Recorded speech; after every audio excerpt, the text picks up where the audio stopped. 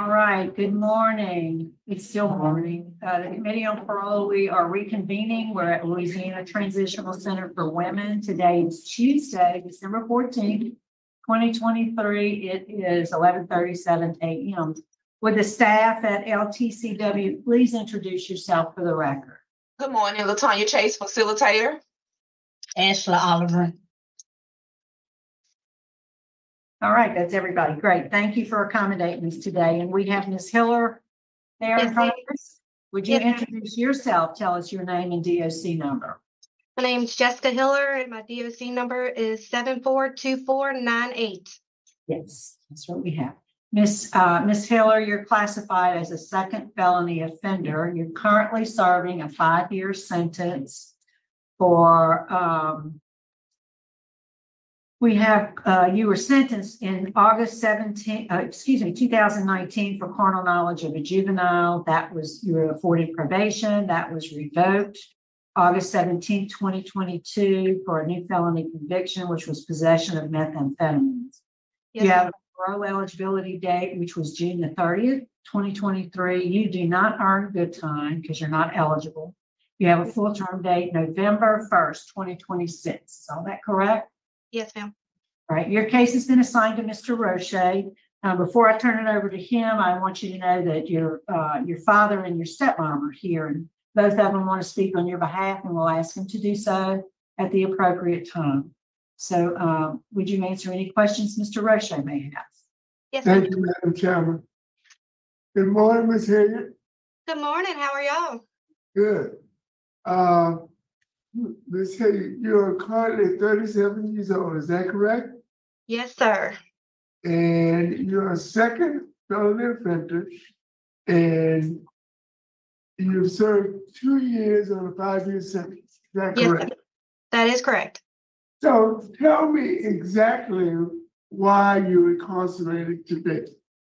Um, I violated my probation and um I got caught with drugs and I failed a drug test. My I did all of, almost all of my probation. Uh, I was going on my three year mark when I messed up. And do you have children? yes, sir, I have three.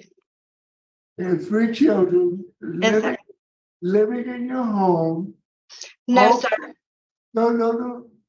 Your children weren't living in a home at the time you were, When I was on probation, yes, Yeah. they were living in my home. But now, uh, me and their dad divorced, so they're not living with me.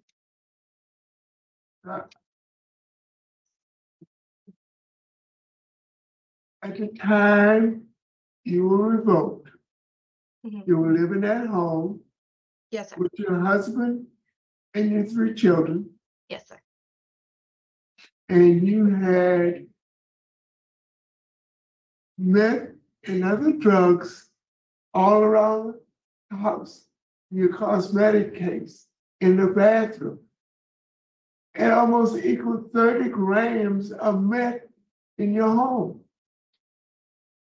So why would you have drugs in a home with minor children? I have no excuses. It's something that's inexcusable.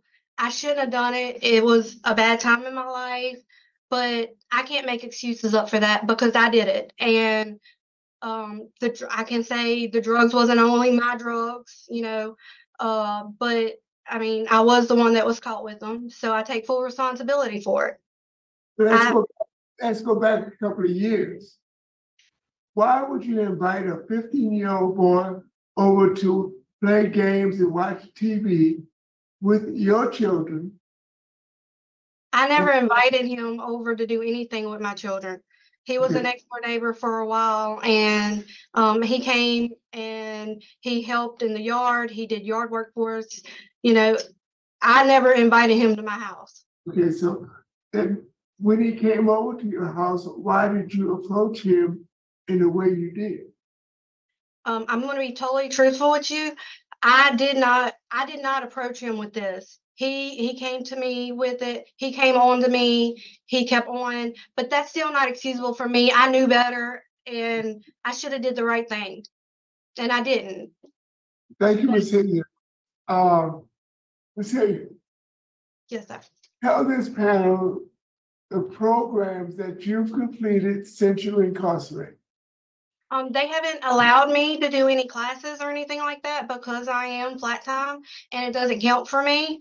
But I was able to do a anger management course through the church when I was in incarcerated in Concordia. They Mhm. had more programs that I was gonna do there, but then they transferred me here. So, so Ms. Hilliard, you're telling me you have a drug conviction and Yeah. you are classified as a sex offender and you have no substance abuse treatment and you have no sexual, uh, sex offender treat, is that correct? No, sir. I took uh the whole time I was on probation, I was in a sex offenders program where I took classes. I attended every class. I made all my payments. I did everything that they asked me. Hilliard, since you've been incarcerated, No, they have not allowed me to take anything. I have requested it. Um, I have the papers where I requested to take I, these I, I, but they I, told me I have those papers too, madam. Okay. Okay, your flat time, five years, you've served only two years, which is insufficient for the magnitude of your offenses. And you have no programming. The reason for incarceration is for rehabilitation. And you have not received any program that will enable you to rehabilitate yourself. Therefore, it's gonna be very difficult for me to vote to release you early. And I'm gonna make a recommendation that, uh, Louisiana Transition Center for Women place you in a substance abuse program. And if there is a sex offender program available, I'm going to request that also. Would you give me the What is your opportunity? job? What is your? Ma'am, I- I'm conducting this interview, not you. I'm sorry. What is your job assignment at Louisiana Transition Center for Women? They don't have me working right now. So what do you do twenty-four hours a day? I go to church, I read my Bible and watch TV. I've wrote for jobs. They're just not, they won't allow me to do anything. As of my report, you had no disciplinary write-ups. Is that still true? That is true. Thank you, madam. Thank you, Mr. Rochton. We'll hear from your, um, your family members now, Miss, Miss Hiller, uh, Miss, I don't know how to pronounce the last name. Miss Tiffany, would you pronounce it for me? Okay, he, Miss, okay, yeah, go ahead. If you would step up to the podium and let us, yeah, I did say no, I apologize. I did, yeah. Go ahead, sir. Um, I wasn't prepared to make a speech, so. Anyway, so this, here I am. Hey, As a father and we follow our children, you know, through their trials and tribulations. I, understand her charges, but also understand the, make sure, uh, promiscuous for the, uh adolescent teen. Did I say that correctly? Okay, and and I understand it as a as a male, you know. Um, and also understand sometimes these things as as mothers and grandmothers don't approve. And you know, and it shouldn't, you mistakes are made and it shouldn't be. But it it kind of gets, you know, thrown about that way. So I won't stand here and make any excuses for her. I just, I know that she was doing everything she was supposed to do. I, I understand that she's had some hard times. Um, but I also understand that in some circumstances, that all of these problems is not one side. Um, know, as soon as she got picked up on this, this new charge, um, her husband found a excuse to have another baby thirty days later. Um, he also found the excuse to file a divorce. I mean, just immediately after she picked up. I, I. You know, she was taking care of her children. She, she didn't have a job. That, that was her job, take care of her children. So the support, the, the funding for what she did had to come from somewhere else. So she, I'm not making excuses for I'm just saying it's just not all her, her duties. You know, so, you know, as a parent, we hope that she gets the, the programs that she needs and that she continues to prosper from that and become a, you know, adequate part of our society. You know, my long-term thing is to get her back to be mother. And, and when she can do that, you know, the other part of this is, we don't get to see our grandkids no. So maybe she can prosper, and be a mother, and then I can be a grandparent. So that's, that's, that would be the whole thought that I have. Thank you. Thank you. Thank you for sharing that with us. We appreciate it. If, if she, whenever she's eventually released, that would be it to live with you for a while and holding. Yes, Okay. yeah, she'll work with me. We have some rentals and we do our own work on. So she will come and live with me and we'll try to. to- to- yeah. Yes, sir. Good deal. All right, um, let me ask the staff there at, at LTCW, is there any input you can offer for Ms. Hiller?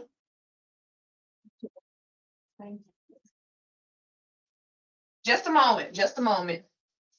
We're getting the, um. We're getting one of the program coordinators. They want to know if there's any class that you can, you have to offer her, but can she, is there something so that you can figure in something. If, uh, what's your name? Jessica Hiller.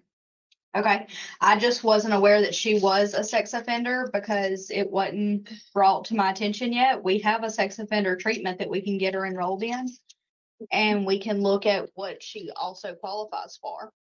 That's the letter. No, no, no, no, it doesn't say you don't qualify. Did you read the letter to them Mhm. verbatim? They have it.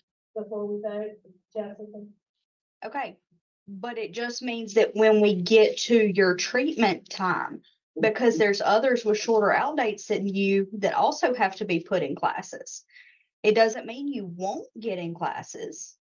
It means we have to also give classes to those that are before you. Yes, sir. Yeah. So that's the difference. Jessica, can you hear me? Yes, ma'am. And, uh, I would encourage you also to ask for a class called Thinking for Change. I think that would be very important for you. Is there anything you want to say to us before we vote? Um, just, I'm asking y'all to give me an opportunity. I know y'all like for us to take these classes while we're in here, but these classes are also available on the outside. Um, I have taken the sex offenders class. I was enrolled in it the whole time I was on probation. And I attended every class. I paid every fee. I did everything I was supposed to do. And I was succeeding. I was excelling and I made one mistake. And please don't punish me for that one mistake. I think I have, I've been here a long, I've been in jail over two years because of the mistake I made. Just, I'm asking y'all to give me the opportunity. I know I have, even if I do take these classes on the inside, I'm still required to take them when I get out. Um, I still have to do my, I know I have to do my parole. I know I have to do these classes. And I take responsibility for that and I will make sure I show up for every class. Um, just give me the opportunity to do it on the outside, not in here. Well, you might have to see it to believe it. But let's just take a step back for one second and think about what we just saw. We saw a 30 something year old woman who was caught really what it is is sexually assaulting a 15 year old boy. The judge and DA give her probation. She doesn't even need to serve a day of her sentence, is my understanding. She violates quickly after 30 grams of meth. She shows up at her parole hearing and she states straight up, she states that the 15 year old came on to her.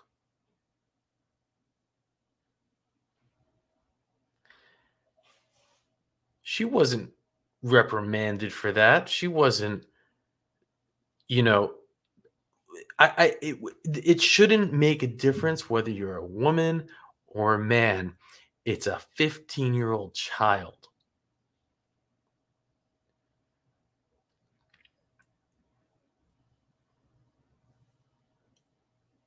What makes her so dangerous, why she is such a dangerous cockroach, is that she looks so, in my opinion, innocent, sweet, almost childlike in nature.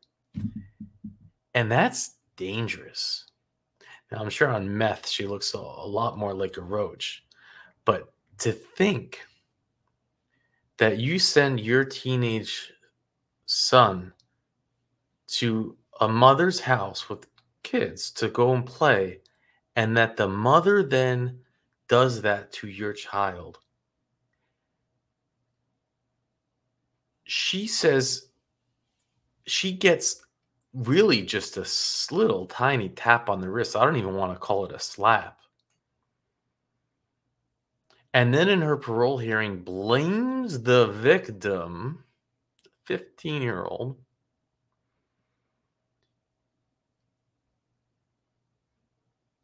you can't make it up. And then you have her father come on. Gosh, that was a I, I couldn't hear it fully, but I think that he started to talk about how how she's promiscuous or was promiscuous and uh, making excuses for her and talking about grandchildren or something. I, I, I, and it's like, what are you talking about, man? We're talking about again a 15 year old child. It's like we're just totally forgetting about this victim here. And she victim blamed. You only need to flip the genders around to make it very black and white of disgust. And I know some of you don't even need to do that. And i i- there's, there's, I think it's becoming much more uh, understood that the damage that it does to a 15 year old boy when it's a woman can be just as traumatic and life altering. And for the idea that the judicial system doesn't seem to still see it that way, it's not shocking. We know Louisiana. I mean, we see these things all the time, but you gotta see it to believe it. I think you know again, and it's still for me. It never ceases to to to shock me. Even in her final statements, what does she say? Don't punish me. Yep. I've been in jail for over two years for this. It's like there's no. I I I, I just I, I know I'm, I'm a broken record right now, but I'm just so disgusted by by this. And yeah, they denied her parole, and then the, the prison not even knowing that she was a sex offender. It's like how does that happen? You mean someone's in your care for two years? Your job is to is to know what they're there for and you actually have no shame in publicly stating i didn't know that she was in here for that man look at you know look at where louisiana taxpayers look at what where your taxpayer dollars are going i hope you're proud you see my new mic boom it, it keeps showing up in the screen and thank you you know who you are the three of you who bought it for me. I've said a few thank yous and I've written you letters. I hope you got it on Buy Me a Coffee. I when you guys do stuff, I, I write a personal message. I don't know if you get it or not, but I hope you do. Um, I write you directly there on a more personal note. But I, I there, you know, it's interesting to say. Is there a double standard for women and, and male and men? And I'm not so sure because we have seen men get similar sentencing. It's just that there are more, it seems there are more men getting charged. So we see a wider range of sentencing, much fewer women with these type of charges. I don't know if it's a, uh, if it's, you know, that we just see fewer sample sizes or if it is um, because of the gender bias. But it's, it was, it was, it, this was a perfect example of, I think, a very dangerous very dangerous person that is um, that is wearing a disguise, and that makes her um, just extraordinarily extra dangerous. But yeah, oh, that was what her father went on to say, and, and her husband blaming it on her husband, and then he ended up using it as an excuse to get a divorce. You don't think uh, if she was married at the time, which I, you know, when when when she when when the 15 year old threw her himself on her, right? It was probably all his fault. That's what she told her husband. That's why he didn't leave her then yet. It's just absurd. The whole thing's nuts. But thank you, uh, K Survivor, for sending me an email and saying, Mandy, you got to check this out. And thank you, Richard, for um, also letting me know in this spreadsheet to, to check this one. Um, but there you have it. With that, I'll let you go. 1982, classified as a first felony offender. Offense indecent behavior with a juvenile. Sentencing date August 27, 2014. Sentenced to a total of 17 years. Parole date is August 22nd, 2021. Good time, not eligible. Full term, August 21st, 2031. Is this information correct? Uh, yes, ma'am. Thank you, Ms. Pearl. Thank you. Uh, Mr. Johnson, it seems like you're having a hard time hearing, huh? Yes, uh, uh, I'm, I'm partially hard of hearing, uh, being Oh, around- okay. Okay, all righty, okay. So I, they- I'm see they got the, they got it, um, they got the volume up as best they can do. I'll do what I can to speak loudly. How are you this afternoon? all right, ma'am. Uh, tell me why, in your own words, why are you in jail? I'm in jail because one, the cousin, my cousin, uh, her daughter come across, I was in, uh, at her house living, trying to help her. Unfortunately, I left my, uh, see, uh, I left my cell phone uh, laying around. Unfortunately, I had no password on it. Come to find out over time, the daughter went into my cell phone and found stuff she was not supposed to find. Uh, unfortunately, I was uh, given lip about that, and from that point on, I kept my cell phone always on me at all times. Uh, um, and she's been around while I've been speaking to other other relatives around her. Her, uh, not uh, appropriate conversation, you might say. Okay, okay, okay. And, and you was uh, not appropriate conversations, uh, and what was on your cell phone was not appropriate for young people, you would Yes, say. Okay, okay, and, and, uh, for that, the courts gave you a seventeen year sentence. And That's how long, Hmm? and how long have you served on this seventeen year sentence? Uh, roughly combined with Benjamin Parish and Boyles Parish, eight years, four months and a half. Eight years, four months and a half. Okay, so what programs have you had in these eight years and four months?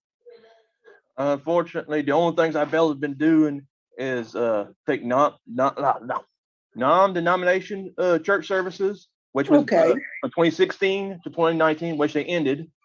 And I've been Yeah. a tr- from 2015 all the way to now in the kitchen. Uh, What do you do? What do you do in the kitchen? uh, I've been, let's see, I've been the scullery man. I've been the pots, uh, what, scullery man. I've been uh, storeroom, storeroom worker, and storeroom clerk. Uh, Oh, okay, basically a truck loader responsible Okay. for all the stuff that is inventoried and stuff. And then I've been in pots and pans. Okay, I, I remember reading that now. Okay, okay. But, so, but for as programs, uh, you haven't had an opportunity to take any DOC programs? No, ma'am. I have tried uh with the then uh DC DOC transit specialist, Miss Mrs. Katie Long. I tried to get I tried to get a class with her. Come to find Mhm. out over time, she only gave to people who have two years or less. Okay, Uh, I tried again. Then uh, sometime a little after that, before the uh, COVID nineteen epidemic uh, happened, I found out that you know uh, the four facilities. Uh, you found out what now? that four facilities named uh, Winn Correctional Center, Dixon Correctional Institute, Rayburn Correctional Center, and Hunt Correctional Center had uh, a class called uh, Sex Offender Treatment Class. Mm-hmm, I tried to, uh, I sent geographical trans, mail ge- geographical transfers to all four of the facilities. Unfortunately, nothing, no, re- no response back to any of them. I was unsuccessful. oh, Then good, oh, good. I, I like to hear that you did what you could do. Uh, I'm then, glad to hear unfor- then unfortunately, the COVID nineteen epidemic hit, and then I come to try again. Unfortunately, I couldn't because restrictions prevented any new uh, any inmates from transferring facility to facility. So That's I tried, and while during that time, I tried again to get classes here with the then now uh, transit transit specialist Miss uh, Anderson. Well, I sent a piece of paper uh, that has Okay, we, we, uh, you, you've established that, that's good. I, Yeah. I'm well aware of, of what was going on, that, uh, we were in a pandemic, I'm well aware. So, uh, good job on that. and Now, roughly. You you indicated your occupation is disabled. What is the nature of your disability? Just, Well- just in general terms, some hearing loss. okay? Anything else? Uh, uh, some. I can I can see, but unfortunately, without my glasses, I'm, I'm I'm what's it called? Nearsighted. I can't see far distance. Okay, okay. Uh, I Were you, uh, were you receiving, uh, SSI benefits? oh no no uh, uh I come to find out uh through the uh, law library man that I can apply uh, ex felons can apply for SSI benefits under uh emotional instability. Huh? Uh, Yeah, I saw that. I saw that. In, I saw that in, in your packet. Um, yeah, that's something that's been flying around for a lot of years. So my question though was, um, I guess I phrase it another way. How were you supporting yourself uh, before you came to jail? I uh, see. Uh, last I remember, I was working as a uh, oh uh, what do you call it? Uh, ele- uh, electrical electrician's apprentice. Okay, well, that's a good. Okay, that's a that's a good occupation. That's a real good occupation. Uh, um, uh, let me inform you of, of some things. Uh, as a part of this process, we reach out to the law enforcement community where you were convicted to get their opinion about early release, and there's been some oppositions. There's been some uh, opposition expressed, and uh, uh, the, there's somebody from the victims here, so I, uh, they'll have their say in, in a little bit. I, I do want to uh, we haven't done a sex offender uh, assessment on you, but our other risk assessment shows that you are low. So that's good. You're at low risk. But here are some things that concern me. Uh, you, you you put down that you want to be a truck driver and you want to do work in the IT field. As a sex offender, those are the two fields you cannot work in. Okay. You cannot do it. And, and of course, then you changed it and you said you was gonna try, you know, you're gonna try for social security disability. So we don't Well, know how that. That gonna go. that was gonna that was the uh, help me on my feet until I can find employment. That's right. That's I, I saw that. I, I did. I see that. I see that. Um, uh, going forward, uh, what would you do differently going forward to avoid this happening again? keep everything, uh, no go on any kind of inappropriate sites. Uh, keep my cell phone always with me. Make sure it's protected at all times. Uh, pass wherever, wherever password I got put on it, make sure nobody touch. Uh, keep Okay. myself keep myself busy. Uh, try to have a goal in mind. Uh, try to uh make sure I do something to contribute something. Uh, uh something I can have a future for, or something a life, a future, something. Good, okay, Something- good. Sound like, you. thank you. I didn't mean to cut you off, but we, uh, we got some, a lot of speakers here, but thank you. I, uh, sounds like you done thought about it. You done thought about it. Appreciate that. Do we have any other questions from the panel?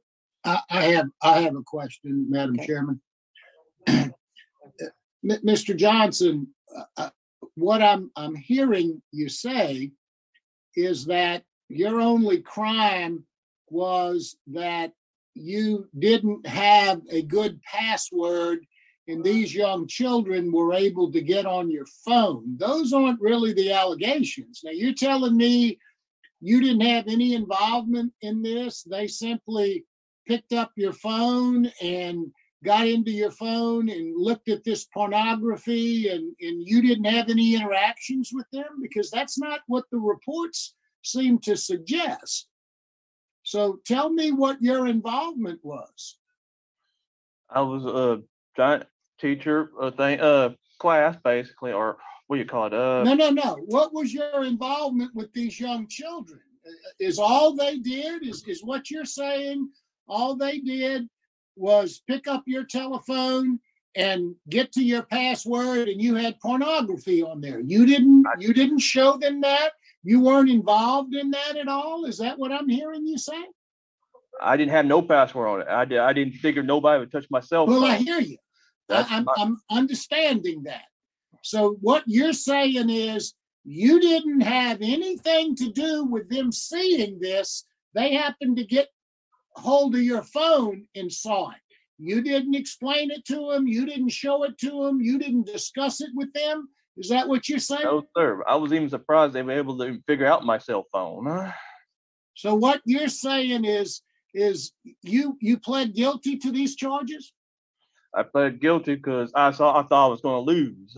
Because I've heard people who've had these kind of charges, they even they they they didn't lose, they didn't win. Even if they somehow even somehow beat it, their life was ruined. Uh, I thought I, I was so scared. I thought I was going to lose. So I was willing to willing to plead guilty just to get lesser So- charge. So what I'm hearing you say is that your cell phone was accessible to them. They got the cell phone. They looked at all of this part, two different people looked at all of this pornography and suggested that you talk to them about it. And you're saying all that's a lie. They just picked it up and it was a, uh, in the wrong place at the wrong time? Is that your, is that what you're saying?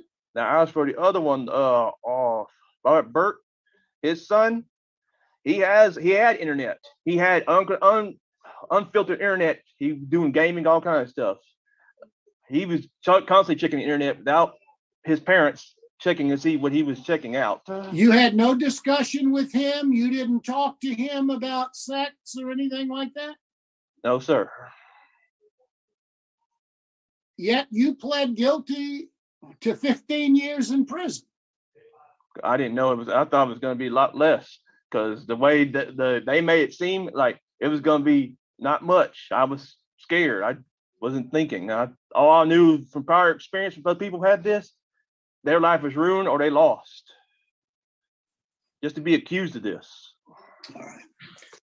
I, I understand. Thank you, Mr. Johnson. Thank you, Mr. Thank you, uh, Madam Chair. Marabella. Thank you, Mr. Marabella. Uh, Ms. Teresa?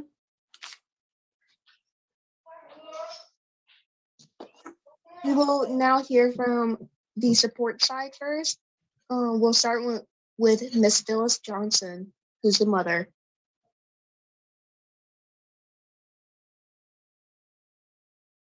Ms. Johnson, we can't hear you. You're on mute. Ms. Johnson, you're on mute.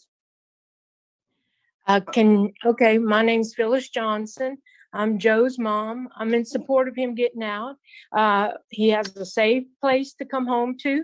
Um, um, I've saved money for him to go back to school for what is approved, and we will find out what is approved. And um, uh, I'll help in every any way I can. And uh, we have a big family, a big support system, even our pastor. And um, so um, I'll do anything I can to help him, and I'll be there for him. Thank you. Thank you, ma'am. We really appreciate you being here today. Thank you. Thank you. We will now hear from Miss Sharon Dickey, who's the aunt, who's at the same location as Miss Phyllis. You're back on mute. You are on mute. Sorry. Okay, um, I'm Sharon Dickey and I'm speaking on behalf of Joseph Johnson. Joseph is my nephew. Um, I'm here to express my support for his release. Joseph has a family support and all throughout his incarceration, we have supported him and visited him when we was allowed to. Um, Joseph will have family support upon his release. He also has housing set up with a secure home to come home to. We will help him with employment and if to go back to school, to find a trade that he's allowed to, you know, to have a trade in. You know, there's a lot of things that we're going to have to figure out, but we will definitely go through the process and figure those out. Um, Joseph is 100% remorseful for his actions, and Joseph is a good person. We miss him and we want him home. Um, Joseph has served uh, eight years of his time, and I know he's reflected and uh, and on his past mistakes and I know in conversations with myself, he has been very truly remorseful in a lot of, in, in his actions. Joseph has a very supporting and loving family that will be through his release and introduction back to society. We will take every possible step to gather support and aid in his release from prison. And we will uh, just be by his side 100% and help him go through the process, getting um, put his name in the paper and getting registered and going through all the process and get with his parole officer. So we will definitely be by his side 100% um, to help him uh, through this process. Thank you. Thank you so much for your time. Thank you. We will now hear from the opposition side. We will start with Ms. Pamela Burke.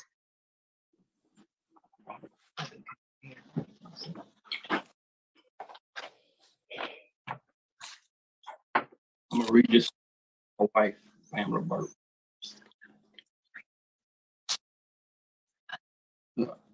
My name is uh, Pamela and Robert Burke. We represent our son in this matter.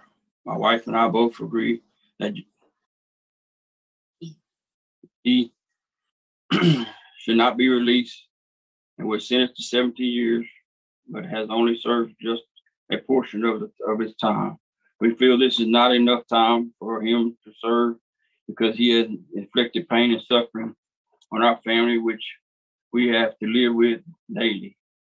He should not be released because we once lived within a, the same community. We fear we we fear he would be returned to this area, which is within five mile radius of our home. We do not feel safe with his release.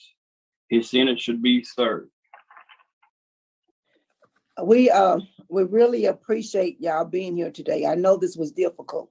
Thank y'all for participating in the process. I really appreciate it. Well, thank you for Thank you. taking time to hear our message. Now we have Ms. Catherine Kowalski, who is also at that location.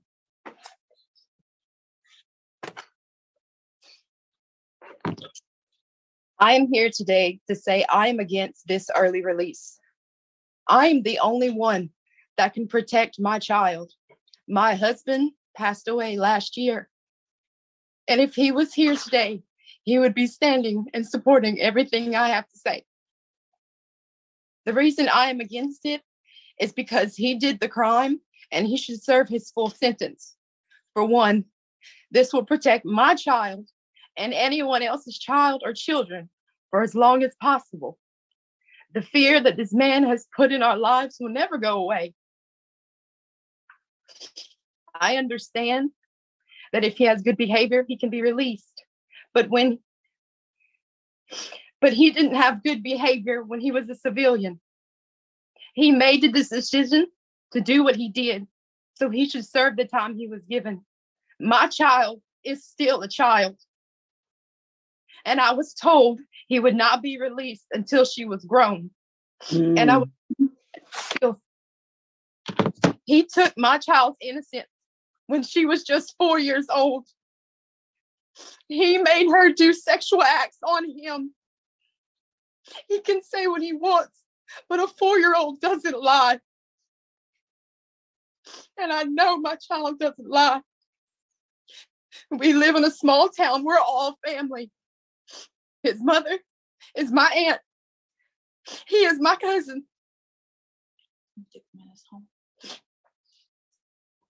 Thank you. Thank you. Thank you so much. I know that was hard. Thank you so much for being here today. Yes, ma'am. I'm, I'm Catherine's mother. Is there anything you want to tell us? Yes, ma'am. The, we're all family. She took him in when he was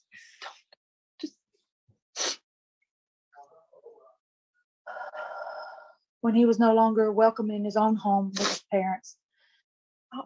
And he lived here and he did those things and he should serve his time. And he spoke of, re- they spoke of remorse. He did not. He didn't remorse to me. And don't want it. she's still a child and needs protecting. And just thank you for hearing our side. Thank you. Thank you for being here. Uh, uh, put your, uh, put it on mute now for us. Thank you.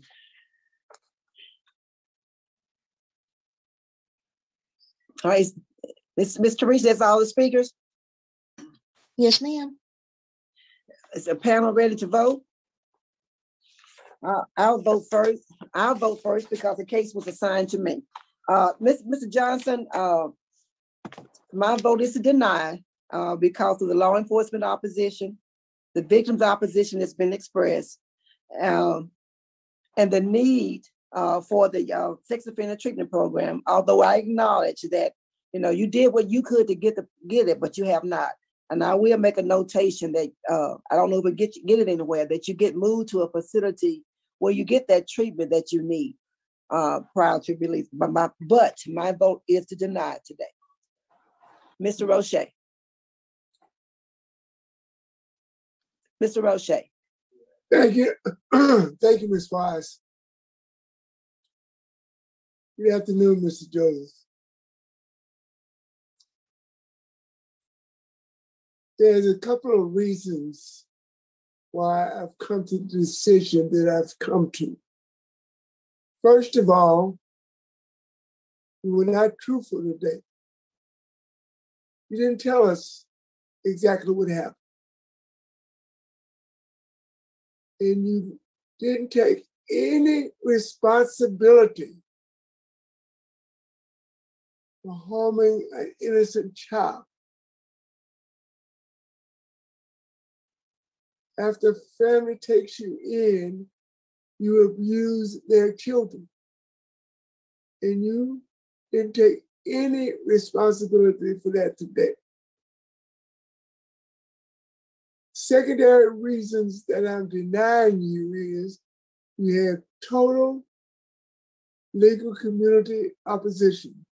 The sentencing judge, the DA's office, the sheriff's office, the chief of police. The victim's family is adamantly opposed, and you have no sex offender treatment. I think you had a lot to do where you are located and you chose to be comfortable instead of getting rehabilitated. I think you need to get with the facility, get them to contact the proper facilities so you can get the proper programming so that you can be on your way to rehabilitation. You can appear before this committee 10 times. If you don't have the prerequisite programming, you will get the same results. You understand?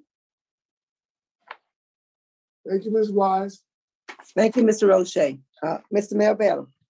Thank you, Madam Chairman. Uh, Mr. Johnson, uh, I I echo everything that my colleagues have said. Uh, I'm not sure, frankly, if you have some mental health issues that need to be resolved. Uh, I'm not sure if you are just unwilling uh, in front of all of us to admit and concede what you did. Uh, I understand that's a possibility. Uh, it sounds like from your supported family that you have accepted responsibility to them for something. Today, you didn't accept responsibility for anything other than not having a password on your phone. And, and maybe even suggested blaming the young boy for having access to his own computer. That is what sex offender treatment and training perhaps can assist you with. Uh, I think you also need to take classes in victim awareness, what you have done to these young children, what your actions have done to them. Uh, I'm not sure why you can't accept that responsibility. And you tell me you didn't do any of this, yet you pled guilty and are serving a 15 year sentence. I'm a lawyer, been a lawyer for a long time, was a judge for a long time. I understand those things happen. People plead guilty sometimes to what they didn't do. Uh, but wow, to accept a 15 year sentence, that's a long time to go to prison for something that you didn't do. So I believe, like Mr. Roche, you weren't perfectly honest with us today. Uh, I'm going to encourage you to do your very best to get into sex offender program. You've tried, you, you, you've written some letters. Continue to do that until you can get into the program. Uh, because if you come before us, and I'm on this board again in the same circumstances, my vote will likely be exactly the same, and that's to deny you. So good luck to you, sir. Okay. So uh, today, uh, Mr. Johnson, you've gotten three votes to deny uh, early release. So parole has been denied today. Best wishes to you, sir. This concludes our business at a voice. Thank y'all so much for accommodating us. We appreciate it. It's 1:21 p.m. Uh, You, this hearing was on. You, you just you just left with my jaw's just hanging open. 17 it was a 17 year sentence. Mr Marabella was misquoting. Seven he got a 17 year sentence for for for um molestation of a juvenile right? And he goes through the hearing. Now at, at the beginning you know he miss wise asks him what he did and he he gives this whole thing about the phone. And she responds oh okay 17 years for for not locking your phone. And i thought that was you know i actually kind of laughed about that her uh, i think that was one of the few times i appreciated that that her approach in that situation. But then i became upset again when i don't find out that it was a four-year-old girl until the victim's mother speaks a four-year-old girl doesn't lie and how can you get through a parole hearing like that and just not pin him to the wall and hold him accountable and say, no, that's not why you're here? Don't say that to us. You're here for what you did to those children. And Mr. Marabella wasn't just the boy, it wasn't just a child, it's children. They take him into their home. And it sounded like one of the victims was telling when she was giving her speech, like trying to get her to for some, you know, change her what she was saying or about inviting him into their home. And yeah, I mean, you, you just, and then he, he goes through the interview also as if he has maybe like an intellectual disability, but he counters that by saying that he's an electrician's apprentice. I mean, I don't think you can be an electrician's apprentice and have a low IQ in the way that he was playing it off. I think it's all part of manipulation. He thinks he's so clever he can play dumb or something. I don't know.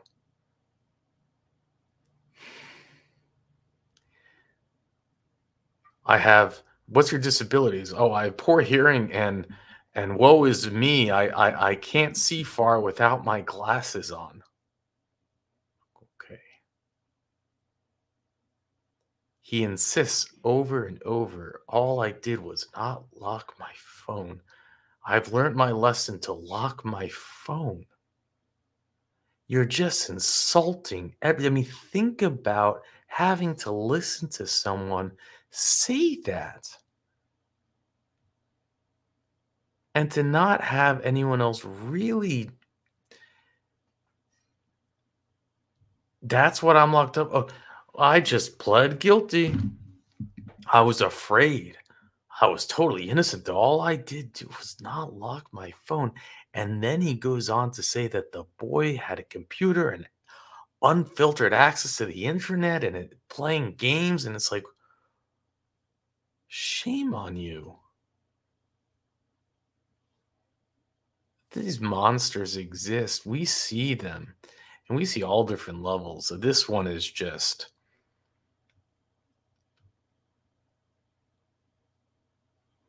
To think that he's is going to be free when it hopefully he doesn't get out till his full term in 2031 which is another was that? Seven years about from today's date. But he's young. So what does that really mean? What's going to happen when he gets out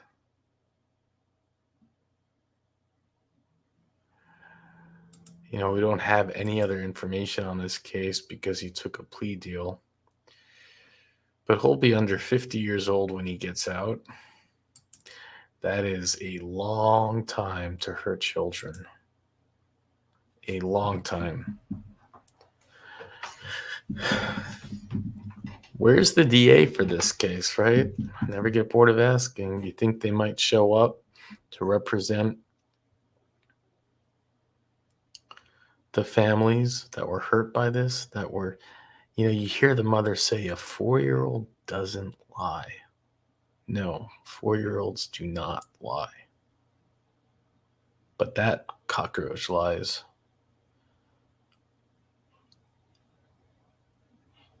Kick the ball down the road. You know they had phones they had all they had data trails they had all this.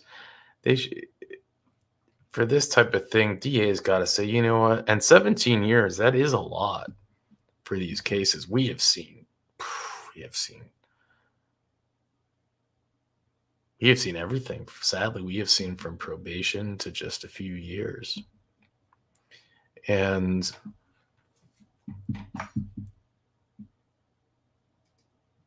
but in my opinion, he's still you gotta imagine letting him back out. You gotta go for you gotta take these these roaches to trial and you gotta give them life. You you can't rehabilitate this. And you cannot guarantee by any stretch of the imagination that they won't reoffend when they get out. And how can you take that chance? How can you roll the dice and take that chance? But it is it is what it is, and you might not believe it if you didn't see it. This is astonishing. Sick. Well, this hearing took place in 2021, and he's probably going to come up sometime soon, and we'll cover it when he does. Let's move to the next hearing.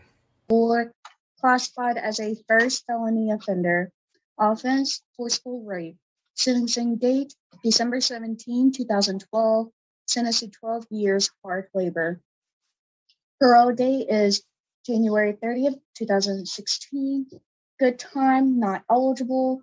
Full term, February first, two thousand twenty-four. Is this information correct?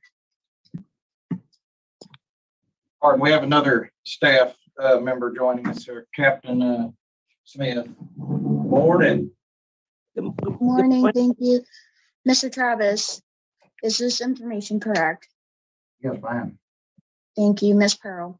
All right, thank you. All right, since the staff is in there, can y'all go ahead and tell us how Mr. Travis been doing at your facility? Yes, ma'am. Um, since I've been working here, Travis has worked beautifully as a uh, kitchen worker and as an auto shop uh, mechanic. And I haven't seen or heard any um, any ill news of Travis since he's been working here, which has been at what two different points in time. Yes, sir. Uh, during his uh, stint as an inmate, he had been here earlier, and then he had had to transfer down to which facility? Ridgewood. Ridgewood, and came back here after a set amount of time. Yeah, okay, I see that. I see that. And You said he's a kitchen worker and an auto mechanic. He worked both of those he- jobs. He he was a kitchen worker until he became uh, one of the auto shop mechanics. All righty, thank you, thank you, sir. Uh, uh, Travis, Ma'am? go ahead. I was just gonna tell you, ma'am, I'm, I, he worked a year ago. I'm sorry, I'm feeling left out. He, uh, he worked for me or worked with me, uh, a year ago for a, for a whole, for a year. Uh, always was an exemplary inmate, uh, did what was asked of him, did it cheerfully and never, never gave me any trouble or anything that I ever, I ever ran into. And, and uh, when he was working for you, sir, what was his job? uh, where he worked for me occasionally. He wasn't under me, but from time to time I would use him. Uh, this was when he worked in the, uh, I was over a work crew that went out and did uh, mowing. I moved on now and I'm over the, uh, civil department paper service now. Uh, and he, that, that, for that year, he worked with me, uh, out there at the, uh, I did cut grass and things like that. I took a work crew out. He worked in the same building that I was stationed in. Oh, good. Well, thank you for taking the time to be here for him. Yes, That's- that's ma'am. good. That's good. We don't see, you don't see that very often. Uh, uh, Travis, um, when we read your offense, when we actually read the scenario around the, around the offense, what was going on with you on February the twelfth of twenty twelve? Ma'am, uh, I'm not gonna lie, I let drugs, What drugs were, it? what drugs was it? I was doing bath salts and I was smoking crack at the time. Yes, ma'am. I let drugs overrun my ability to think right. And I just wasn't in the right stage of mind at that time in my life, ma'am. How long had you been using drugs? At that point, I was about three years. I was using drugs. It's about three, three and a half years. Okay, okay. What is your plan to stay clean and sober if you're released today? I have a strong support system. My mom, my brother, some good friends. And I got my babies. I've lost 10 years of my life and I don't have no plans on using no drugs. I made a promise to God. I have no want nor need to do any kind of drugs. Uh, so call out for us. How long have you served? I've been down about nine years, 10 months, ma'am. Nine years and ten months. Okay. What drug treatment programs have you taken? I did celebrate recovery, Okay. NAAA meetings. Mhm. Three, two or three certificates, classes, they were three months apiece. Okay. And, um, mass mind altering substance abuse. Mm-hmm. Yes, ma'am, and, uh, I think that's what the program with the drugs, considered with drugs. I also took parenting and anger management. Okay, okay. But I, uh, but you know, uh, for me, for my vote, I want to make sure that I am not letting a rapist out who's gonna go out and rape again. That's, that's my concern. Ma'am, it was a one-time mistake and I love my family too much, my mom, and I just can't. I've lost too much things that I took for granted out there in the world. I'm not that same man. I've done But but you, but, but you realize now, you know, you, you only got charged with one of the rape, but there was an attempted rape that day and then an actual rape. Yes, ma'am, and it was her and her nineteen-year-old daughter was at the house. And they just charged me with the, the forcible rape. Now, the, uh, they weren't just at the house. I mean, you did some planning. You told them you need to come and do some cleaning. You did some planning. Yes, ma'am, like I, it was just a horrible mistake and I. Yeah, wish- you, I mean, yeah, it, it, it wasn't a, a happenstance. You planned. Yes, ma'am, it was, Your first attempt rate, you had, you know, you had planned, you know, a, a, a, discover, you know, you had to, you had developed a way to be, get close to her. yes, ma'am. That's, that's, that's concerning, that's concerning to me that even though you were on the influence of drugs, uh, your thinking was, you know, was quite calculated. Now, so, uh, so, uh, tell me this. Do you think that you could benefit from a long-term substance abuse program before you go home?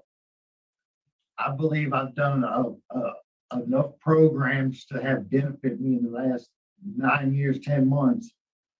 And I've done other programs, you know, outside of just drug programs. Okay, okay. So the answer is no, no, you don't think you need that? No, ma'am. Okay, that's fine. I, I do want to, uh, and thank you for your honesty. I I appreciate that. Uh, I do want to inform you as, as a part of this process, we reach out to the law enforcement community to get their opinion about early release, and there is opposition from the law enforcement community, complete opposition. Uh, they're not in favor of you getting out early. And I just think it's important that you know that I do want to acknowledge on the record that uh, you got a letter of support from the retired warden from your facility that spoke very well of you, and I just wanted to state that for the record. Uh, thank you for answering my question. That's all I had, Chairman.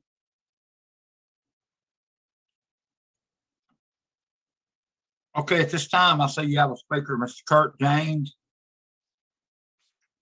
Yes, sir, that's my uncle. Yeah, if you would unmute your mic, Mr. James.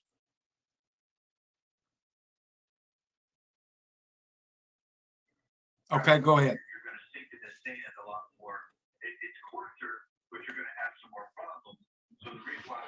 Okay, sir, anything you'd like to say to the board? If y'all would mute his mic, let's go to Dennis. and Uh, Mr. James, can you hear us? Mr. James, can you hear us? If y'all would, let's go to the speakers, Dennis and Jamie, the family, and go ahead and mute him out because I guess he can hear us. So we can go to the next speaker.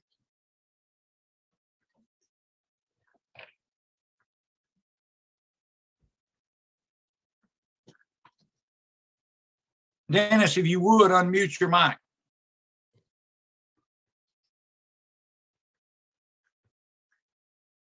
Dennis, unmute your mic. Okay, go ahead. Okay, pretty much I'm gonna back up what he said. Um is a one-time thing. He's it's a totally different world now that he's coming home to. He's got home to come to. He's got his own room upstairs. He's gonna be with me and his mom. He's gonna be helping take care of us. His own the, the friends that he had at that time had done moved off where wherever they're at. So I, I mean, I want to say this, but I mean, if I had a one percent chance that he's gonna do this again, I would say heck no. But I believe he has too much. He lost already. That that he he can screw up again. And we got everything he needs here. We got a car waiting for him if he needs it. We got a room upstairs. And I know that he didn't take all those classes for nothing. That's me. and and he he's a good man and you guys done really great with him because I love him and and he has improved and he, he lost his daddy here a while back and, and he, he's lost his kids. He's not gonna do anything to make things worse. He's a good man now. When he went in, he was a boy. He is a man now. And and I feel with all my heart and all my soul, he will do good and make you proud, the other lady proud, and make everybody that talk good about him proud. Okay, thank you very much. At this time, uh, I don't think we can get a hold of Mr. James there. Uh, I don't know what the problem was, some kind of problems there. Uh, Mr. James, do you hear us? Yes, I can hear you. Okay, you want to give your statement? Uh, I, I'm gonna make it short and quick. Uh, he does have family support. Uh, he does have a safe home environment. Um, there is financial help that I can give him if, you know, while he's looking for work and stuff. And, um, other than that, I won't take up your time, but thank you for your concern and, uh, let me speak my short piece. Thank you. Okay, thank you, Mr. James. Uh, at this time, uh, is anything, Mr. Rexford, anything you'd like to say to the board before we vote? I would like to say I would really appreciate you, y'all, if you would. I plan on going to church, going to celebrate recovery with my ex-warden in Haughton, Louisiana, the First Baptist. He's told me about his church and they will get me in celebrate recovery. And, um, so I can stay on track and make sure with my support system that everything goes right with me. I thank y'all. Thank you very much. At this time, Ms. Pearl Wise will be voting. Uh, Mr. Mr. Travis, I heard. Well, what- well, well, we didn't hear from the treatment director of the sex offender treatment unit.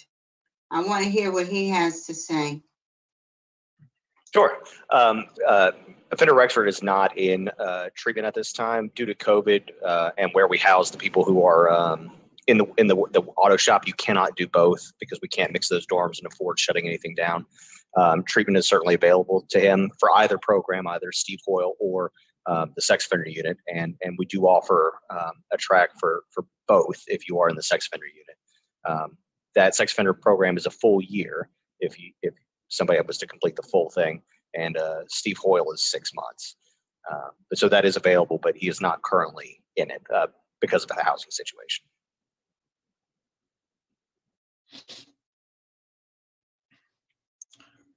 Okay. Thank you very much, uh, Ms. Pearl Wise be voting.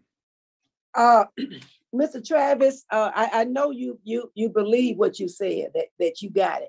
I, I know you believe that, and you have been clean and sober. And I'm gonna, I'm gonna, uh, and I'm only one vote. Uh, I want you to trust my wisdom on this. And this is something I don't usually do, but because of all this community support you have around you, I, I, I think that, uh, and the staff, all the positive things the staff have said about you, I'm gonna take a chance on you. In that, my vote is to grant after you complete a long-term substance abuse treatment program. Uh, we, you have nine months after we get through, after we, when we grant, when we grant you, that's if my, you know, that's if you get granted. Uh, so whatever you can get in nine months, I like for you to get moved from where you are and move to a dorm where you can get some treatment. You don't know what you don't know. You you really don't. But somebody to be on drugs for three years and did that much of mayhem, uh, you need some tools and you don't have them. And it was disappointing for me to hear you say, I completed AANA, but on your release plan, you didn't mention I'm gonna go to AANA to stay sober. That that's concerning. Uh, so my vote is to grant after you complete a long-term substance abuse program, and they will give you a recommend, they will give you a release summary of what you should do. And I ask that you do it, and uh, you'll be a sex offender, so all the sex offender registration mandates are automatically a condition of your supervision. Uh, that, that comes with that, comes as a condition. And the probation parole do random drug screens uh, over your entire period of supervision. That is my vote, sir.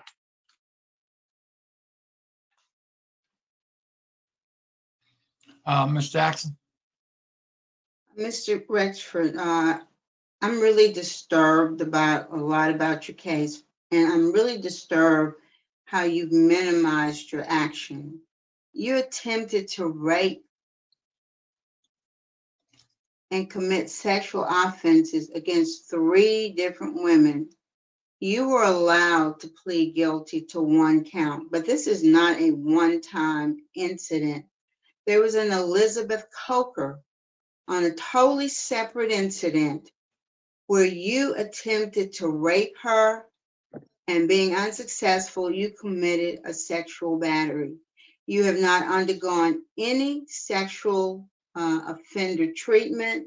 And then there's the Allison Scarborough individual that you were stalking. And the only word that I can use to describe you is creepy. And so I have no desire to see you on the street. You're fortunate that you only got a 12 year sentence given the wide range of sexual offenses you have committed against uh, other people. And you've accepted no responsibility and you've had no treatment. And so my vote today is to deny you uh, for lack of sex offender treatment and because of the seriousness of the offense. Ma'am, can I say something? No, sir, you cannot. At this time, the board is voting. At this time, I'm gonna vote to deny because you need to complete those, all four phases, of sex offender treatment. After you get them completed, you can write back. Thank you very much. Board decision was to deny your parole. That concludes our hearings at ten forty-eight. I didn't finish it. Can I say something? Ma'am,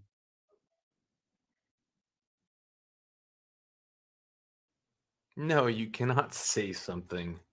No, you cannot. What? Oh my gosh, another mic drop by Miss Jackson. And all I can say is thank you, Miss Jackson. Thank you. Thank you.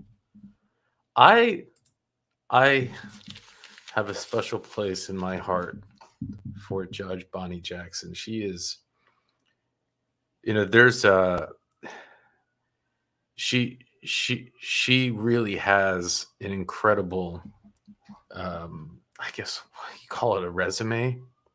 And she's always worked for public office. They said you know after she had worked as a as a defense attorney and and as a judge and pu- public defender she could have left and, and become a partner of a big firm and made a lot of money. And she never did that.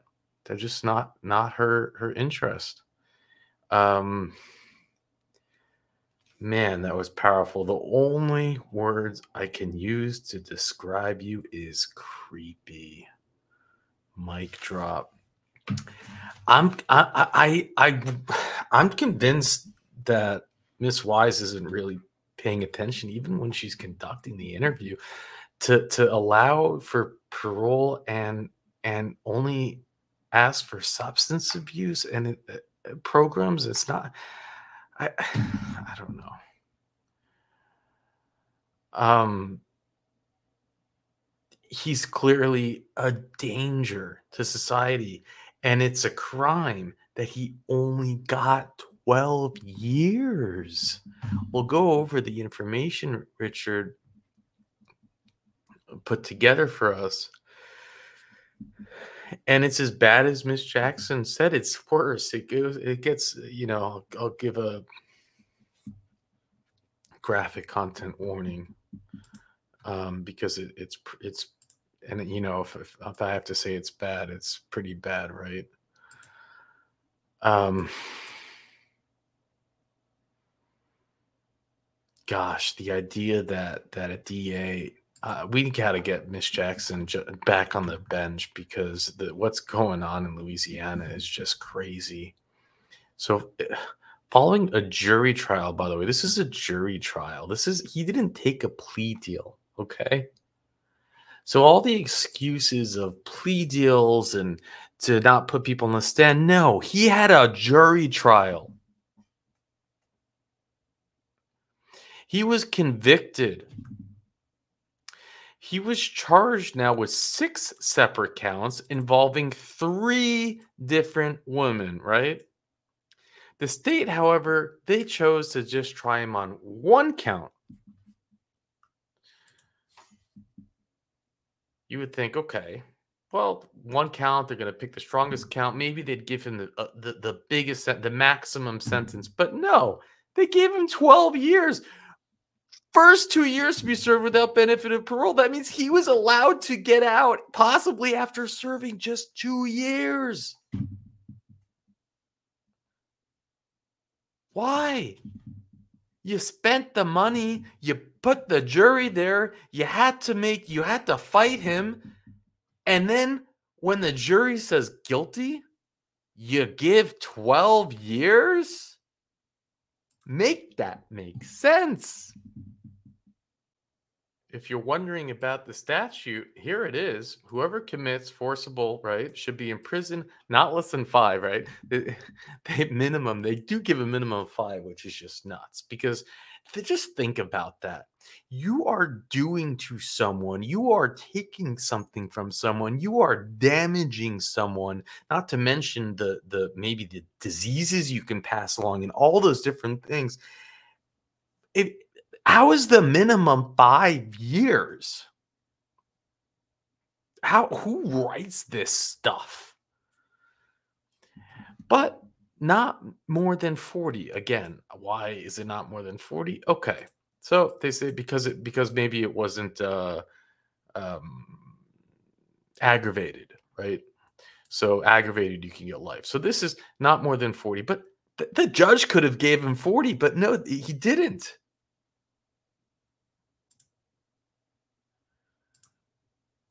And remember, I'm like he he could have for three different women was what they could have, but no. Okay, so we can't make sense of it. We don't understand. We but we know that that there is something broken with this judge. Now, here's the facts of the case. On February 1st, 2012, the 36 year old victim and a 19 year old daughter were at home, several houses down the street where the defendant lived. Now, Mr. Kenneth Washington was okay, so I don't know who Kenneth Washington. Kenneth Washington was the daughter's boyfriend.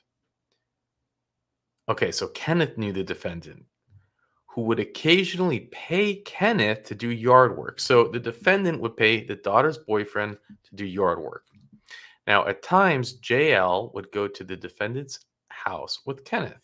So that's the the the daughter would go to the house with her boyfriend. The victim testified that she had never met, never been to the defendant's house or met the defendant before February 1st. But that she believed he was a good person based on the things her daughter had told her. So the mom said she was never there, but believed that he was okay because her daughter would go there. On February 1st, 2012, the defendant came to the victim's house looking for Kenneth. So the defendant wanted her boyfriend to come and do yard work. The defendant was told that Kenneth was at work. So the defendant then asked the daughter if she wanted to make extra money doing housework for him. She agreed and asked her mother to come with her. Here's this sub note. Richard put in the comments, make sure, man, do check this out. And on March 29, 2012, Rexford was charged a bill of information with one, forcible of DL, two, attempted aggravated, which would, I believe, um, be a life sentence. I'm not 100% sure. But, and then attempted aggravated of jail as well. Aggravated battery of jail, attempted aggravated um, sexual assault, and sexual battery of EC. Now, EC is not mentioned in this document, um, but that is the third victim. The bill alleges that all three crimes all occurred on February 1st, 2012. It was only one, it was only one event, he says. Uh, it was just this one time thing. His family support with Miss Wise says, Because of your support, I'll let you out. Are you kidding me? I'm not picking on I, I I just I just don't understand how she could have voted for him in this case. I don't. I don't. The trial, the jury trial, which was only on one count, again, the jury trial only on one count, and they found him guilty and they gave him 12 years. I can't get over that. Now, when the two women got to the defendant's house, his wife, Danielle Rexford, was leaving in her vehicle. He's married, mind you, right? So, you know, this isn't a thing where what he paints it out to be like a sketchy thing. The daughter's boyfriend works for him. He's married. He has kids. The defendant's 15 month old daughter and five month old son were in the house, mind you. The defendant directed the two women to a room in the back of the house and told them to fold baby clothes that were scattered all over the floor. As they were doing so, the defendant's daughter kept walking past the door. So the one and a half year old, I guess. But defendant made her go back towards the front of the house. A couple of minutes later, the defendant came back into the room and hit Jail on the back of the head with a stick. This is when the assault begins. Jael testified that the defendant hit her real hard with the dull end of the stick and that her back hurt for a couple of weeks. Both the victim and her daughter described the stick as a wooden club with a nail attached to the end of it with duct tape. It's like a medieval. Are you kidding me with duct tape? Can you just think of this club with the nail sticking out of it, fastened with duct tape that he uses now to assault this mother and this daughter with his two infant children in the home.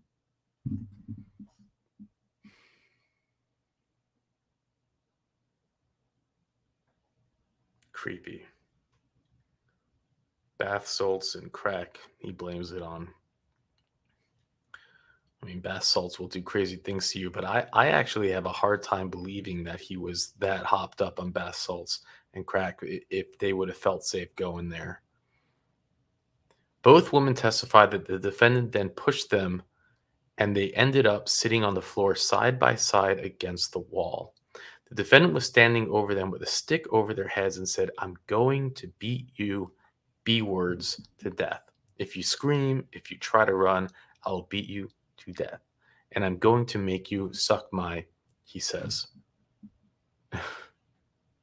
the mother told the defendant that he could do whatever he wanted to her if he would let the daughter go. But the defendant refused because once he was done with the mother, the daughter was going to be next.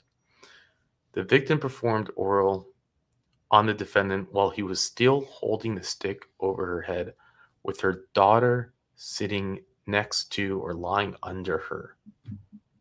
The victim tried to put her hands over her daughter's eyes.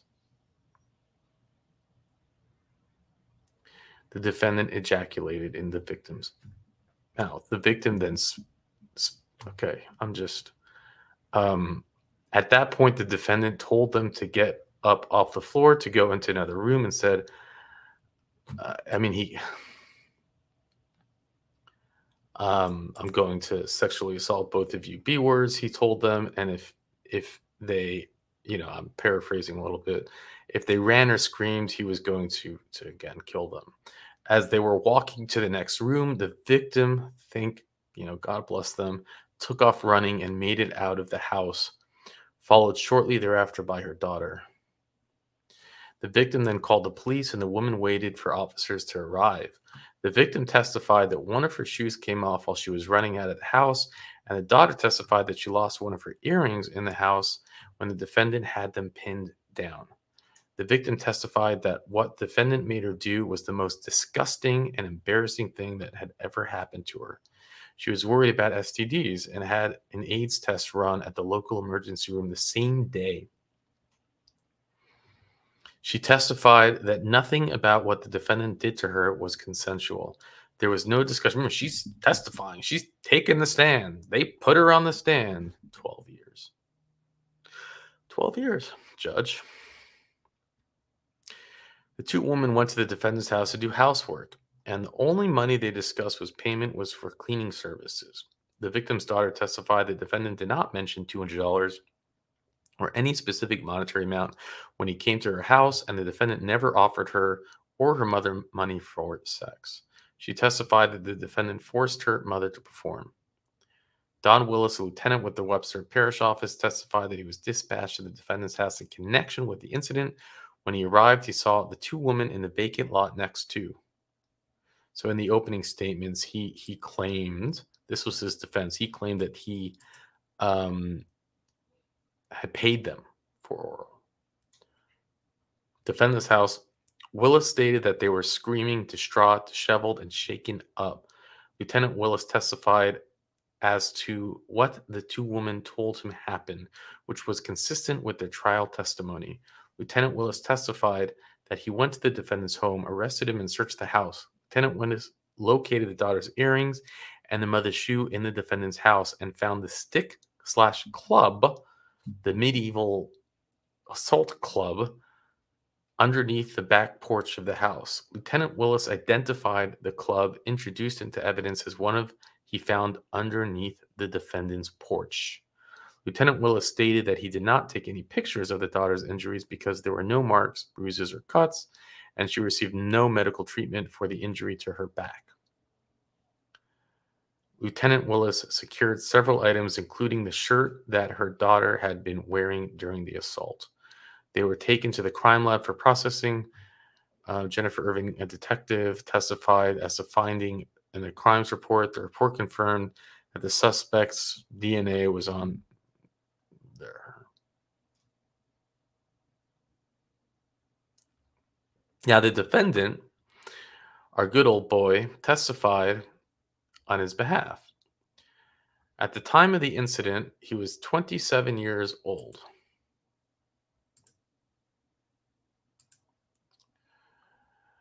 and worked in the oil fields, so he was making good money. He testified that on February 1st, 2012, he went to the victim's house to see if Kenneth wanted to do some yard work for him.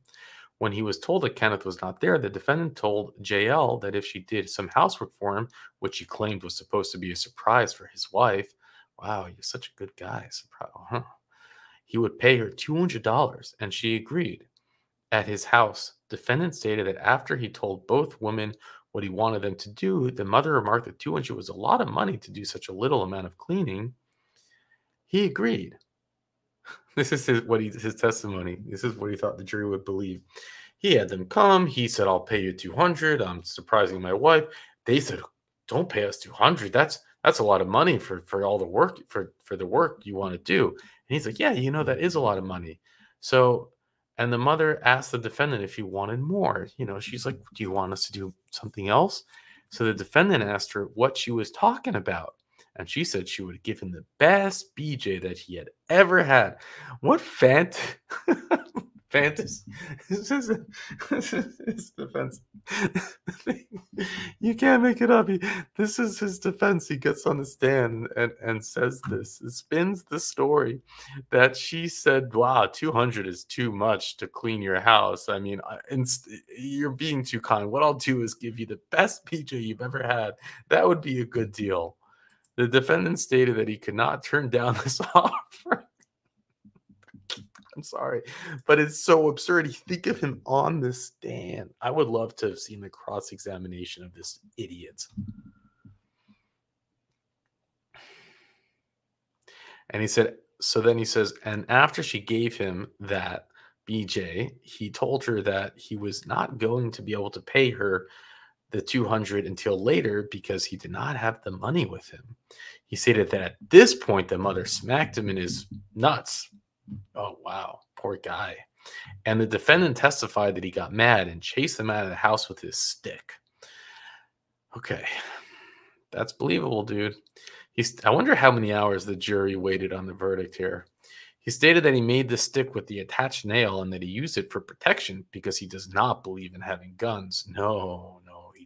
He, believes in bath salts, crack, and assaulting women, but guns? No, no, no, no, no. He stated that the two women ran out of his house screaming crazy stuff like, okay. The defendant testified that he never held the stick in a threatening manner and that he never hit anyone with the stick. The defendant stated that after the incident, he put the stick under the porch because he was afraid that the cops would think he used it against the victims. When the cops pulled up, he was standing outside on his back porch smoking a cigarette. The poor innocent guy. The defense also presented testimony that Daniel Rexford, the defendant's wife, and Kenneth Washington, Daniel, and Kenneth Washington.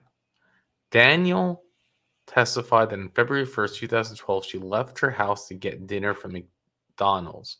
As she was leaving, she saw two women approach the house, but stated that she did not know what they were coming over for. Daniel came back to the house when she got a phone call from the defendant, who told her that he was about to get arrested for sexual assault. She stated that the defendant did not have $200 on the date of the incident because she kept up with all of their money. Is she really standing on his behalf at this trial? Are you serious? Wow. Okay. Well, okay. Daniel identified the stick and stated the defendant made it. She testified that the stick is usually kept in the bedroom for protection because she does not believe in having a gun in the house with children. Kenneth Washington testified that on the eve right because a one and a half year old. Yeah, okay. Anyways, Kenneth Washington testified that on the evening of February 1st, 2012, both of the victims came over to his mother's friend's house and told him about the incident, even though he was no longer dating JL. They told Kenneth that while they were folding clothes for the defendant, he came in the room holding a bat with a nail in it. Said he was going to assault them and then pulled out his and began. Yeah, I'm just, if you want to see what that says, you can go read it. I'm not saying it. Kenneth testified that DL never indicated to him that she gave the. I, um, has a reputation of being untruthful times, so now they're trying to victim, you know, shame or whatever. I don't know But anyways, he was found guilty, and uh,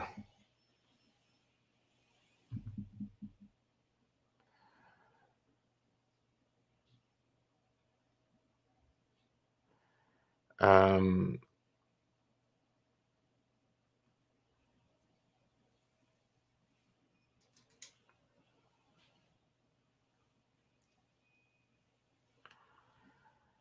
excessive sentence. He part of his appeal, excessive sentence. He's 12 years is excessive considering he's a first-time felony offender. Always worked to support his family and had two very young children who depended upon his support. Also, the defendant claimed that he was an isolated event, noting that the victim admitted this was out of character for the defendant, and the victim was an adult, not a child or someone mentally physically impaired, and that this was a single act of oral as opposed to, oh, okay, really, which did not result in lasting harm or injury. Um, no, first of all. And finally, the defendant argues that his sentence is excessive when compared with other forcible assault cases. And he cites several cases, and then they, they talk about the different cases where people got less sentences. And you really don't want to read this stuff because it's really just disturbing at what light sentences some of the people who he stated got. But yes, Louisiana does give light sentences for similar crimes. And this was a light sentence. It's 12 years. So I- am going to go um, and just start to say again that I, I know I've said it, you know, what, 20 times already. But how do you have a jury trial? You decide to do it for one offense, the jury finds him guilty, and you still only give it 12 years sentence.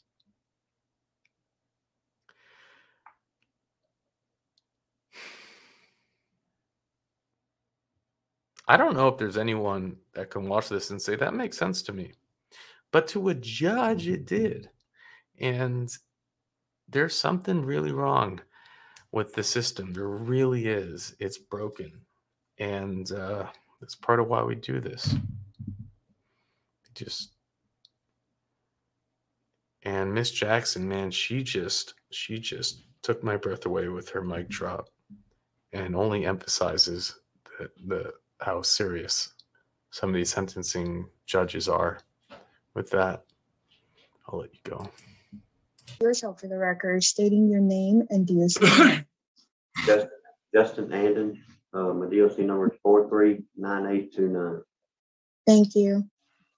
Mr. Wise, Okay, Mr. Anding, there should be a pro revocation questionnaire form at the very bottom Uh, I see where you did not sign it. What was the reason why you didn't sign it? Or, I, uh, I got it signed, uh, Mr. Wise right here. Okay, if y'all would, let them hold it up there and make sure that we have the information. See if y'all hold it up close. Can the board members see that where it's been signed by Mr. Justin and? Yes. Yes, uh, they, they sent a copy, uh, yesterday or day before of it being signed, uh, at a later date. So it's in our packet. Well, I see it. I see where it's been signed at a later date, but it didn't have his signature on it. That's what, I see that. I've got it right here, but it didn't have his signature. It had a witness, Amanda Peoples, but it didn't have his signature on it, one that I, that I have. But at this time, I see that you have, and, and, uh, did you request for any kind of counsel of any kind? Uh, no, sir. You didn't have no account, no uh, counsel. of any kind. So I'm gonna read you out your rules violation, you plead guilty or not guilty or guilty with a statement, not guilty. Rule number four, you tested positive and admitted to the use of illegal narcotic uh, for methamphetamines on five one twenty-one and six nine twenty-one and seven eight twenty-one. Guilty or not guilty? Uh, guilty. Rule number eight, you failed to attend intensive outpatient treatment after being instructed to do so. Guilty or not guilty? Uh, one of them, uh, Mr. Wise, I had went to before I had, uh, Okay, but I need a, I need the one here, the intensive outpatient treatment after being instructed to do so. Did you guilty or not guilty? uh, guilty. Okay, rule number ten, you have a supervision fee rate of one hundred and twenty-six dollars you sign, a payment agreement to pay sixty-three dollars per month. Supervision fees fail to submit any payment, guilty or not guilty. Uh, guilty with a, uh, statement, I guess. Okay, guilty with a statement. Uh, yes, sir. Uh, number thirteen, special conditions is sex offender contract. You failed to attend sex offender counseling after being instructed to do so. Guilty or not guilty? Uh, guilty with a statement. Thank you very much. At this time, Miss uh, Bonnie, Bonnie Jackson will be asking you some questions. This case has been assigned to her. Yes, sir. All right. Good morning, Mr. Anding. How are you doing? Okay. Uh, I've reviewed your case. And it's obvious that you have a significant drug abuse history. Ma'am. Uh, you were released on good time parole and then immediately went back to using meth. Well, uh, Okay, let me just, just finish, all right? And in spite of that, uh, you, you, you had numerous occasions where you were using meth. And in spite of that, your probation officer didn't seek to revoke you. They tried to help you. Uh, They sent you to Blue Waters, Walters, and you completed that program. But then they wanted you to do an intensive outpatient program because of the severity of your addiction. And, and you chose not to do that. Can, can you tell us why you did not follow through on that treatment? yes, ma'am, she never sent me to Blue Waters. Well, She, uh, when she first come up here, she signed that I go to Blue Waters, but then she come with, withdrew that from me and told me that she's gonna push to violate me. okay, hold on, let me, let me go back to, uh, what I saw, okay? You went to a sober living facility, correct? Yes, ma'am, when I pro, when I proed out of, uh, prison, I went to, uh, well, it's a free and D house, it's, it's, uh, But you, but you continue to use, uh, meth and other drugs in that program, is that correct? yes, ma'am, but, I mean, it's, it's, it, it's no classes there, Miss, uh, Okay, I'm at the sober living house, you tested positive for drugs, correct? Yes, Yes, ma'am. Well, I, I never test positive. I went to the guy that run the house and, uh, told him that, well, I did, I, I told him I was dirty for meth and that I wanted I'm, to. I'm looking at an, a failed drug screen on June the 9th of twenty-one.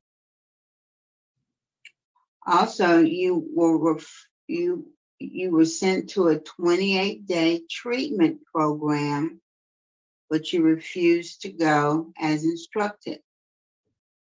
Is that correct? Ma'am, I went, I went and graduated. I got my certificate. I went and graduated, uh, New Day Recovery.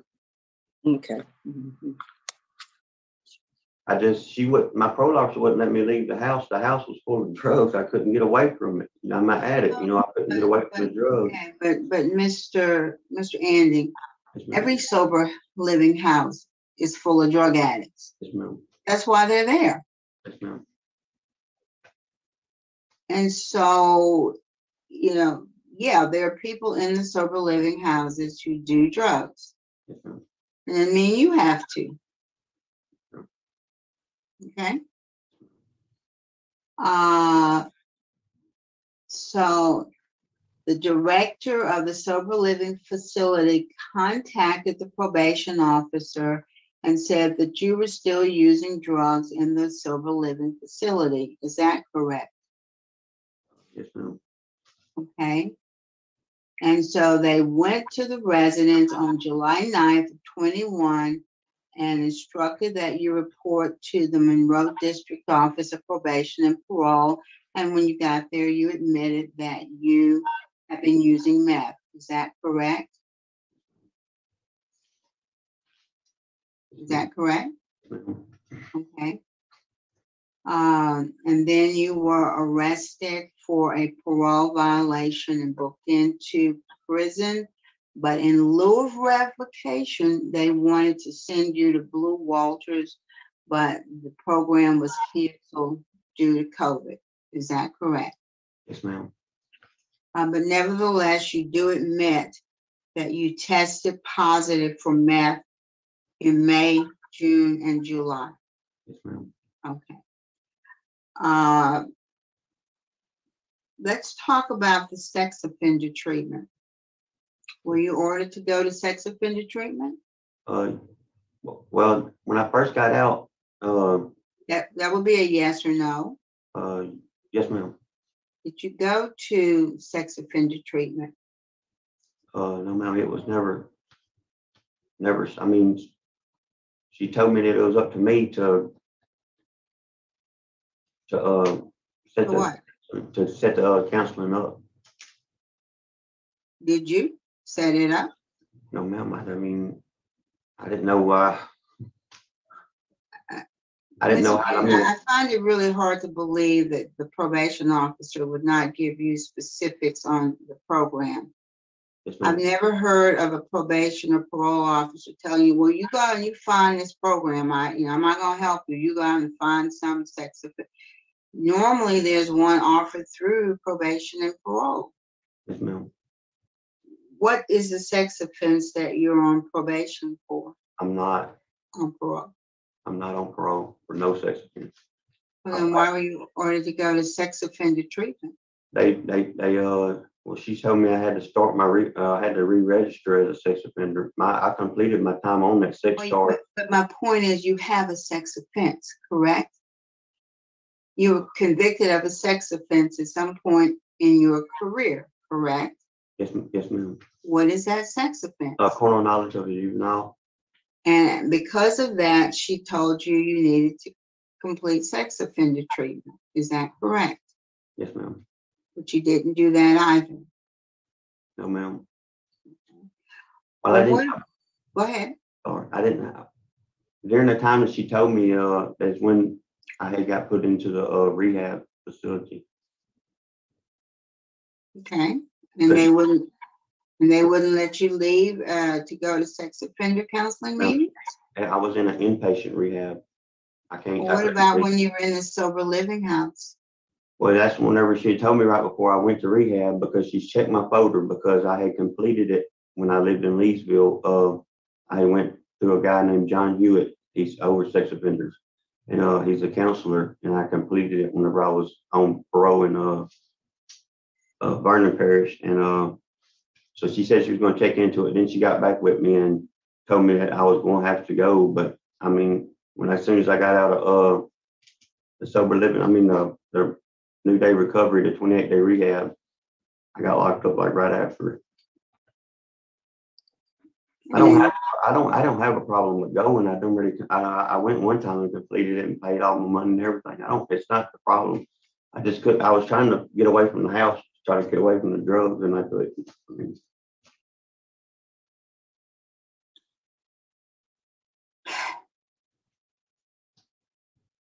How long have you been in jail on this probation, parole or violation? I think the, the ninth will be four, I think it's four months. Uh, I had got me a bed into another rehab that they were supposed to fax y'all paper. I don't know if they did, but they have a bed, bed uh, waiting on me and another sober, a different sober living house. Well, what would be different there? Because you're gonna be with people who use drugs?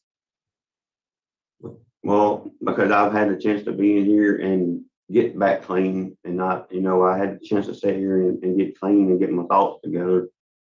And go to, the one I'm gonna go to is a faith-based one, to where I'll be going to step study every night and CR.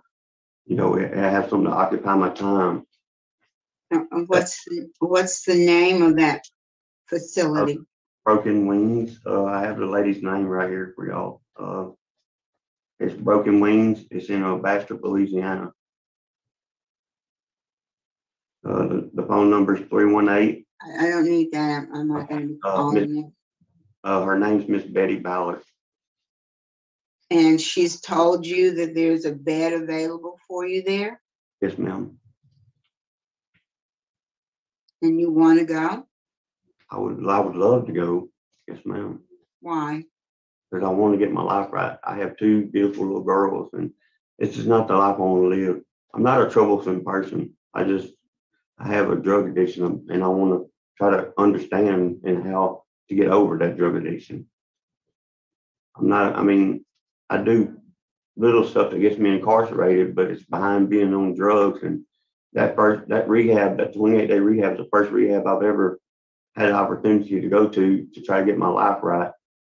In all the, the fifteen years that I've, I've done behind, in prison, it's only, I mean, I'm not even from here. I changed my location to, to stay here in Monroe, Louisiana, to where I could try to get away from that. To where I could try to get away from that environment, you know, and I know it's everywhere, but you know, I just, I want, you know, I got a guy that's willing to help me, you know, he, I gotta have a job waiting.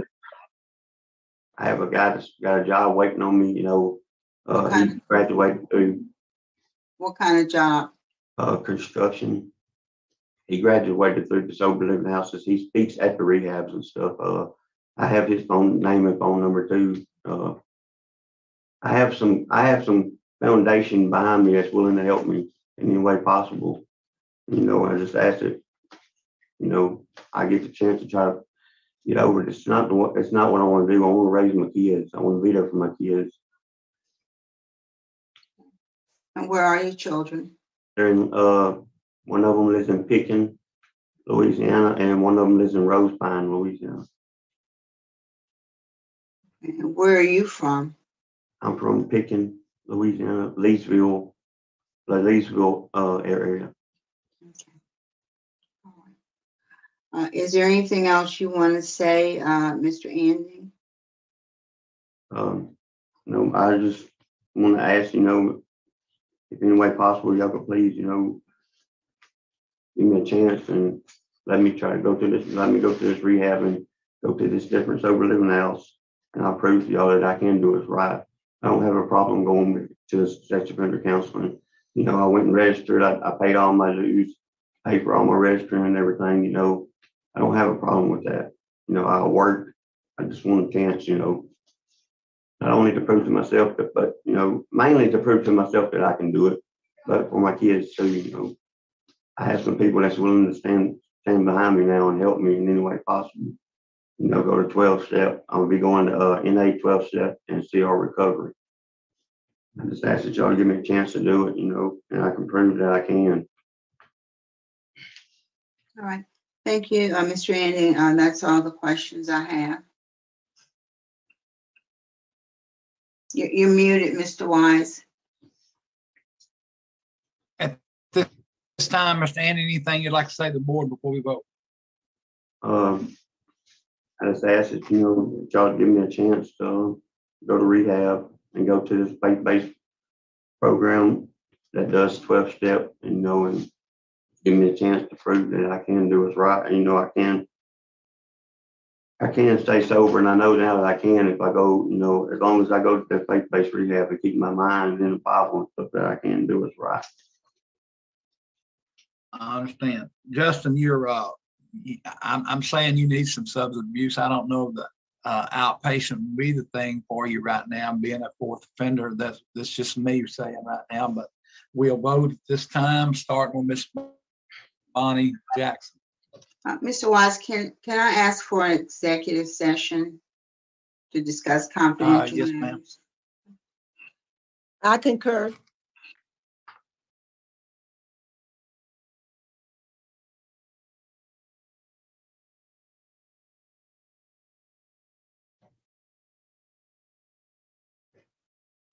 Okay, at this time, Mr. Anding, uh, the board will be voting, starting with Miss Bonnie Jackson.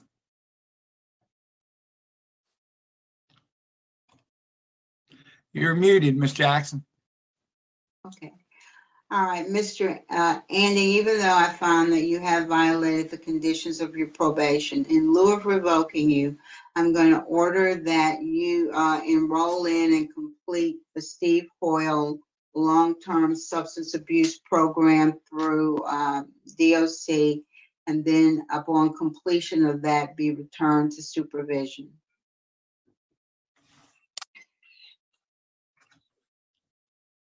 Uh, Ms. Pearl? Uh, Mr. Justin, um, I'm very concerned about you. I think I'm more concerned about your girls than you're concerned about your girls. Yes, ma'am. Uh, cause you, you didn't make it a year out ma'am. and you got those girls you're concerned about. My vote is that you, uh, your supervision be revoked and, uh, and your original sentence be imposed. And I wrote with a recommendation that you be placed in long-term substance abuse treatment prior to your release. Best wishes to you, sir. At this time, I'm gonna vote to do, uh, to, in lieu of revocation, that you go to the Steve Hoyle Intensive Program long term. Board decision today was to, uh, uh, in lieu of revocations, the Steve Hoyle Intensive Drug Program. Thank you. Thank you.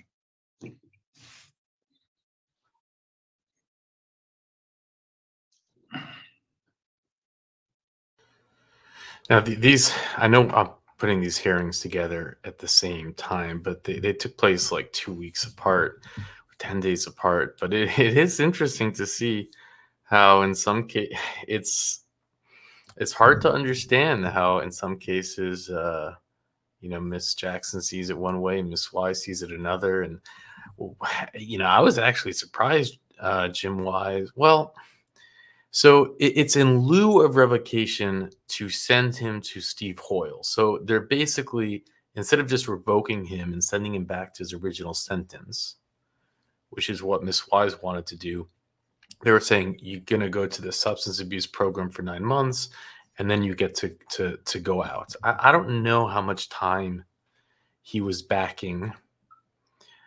Um, you know, Richard had found a little bit of information, but it's not, you know, it shows in 2015 he was locked up for stealing an ATV.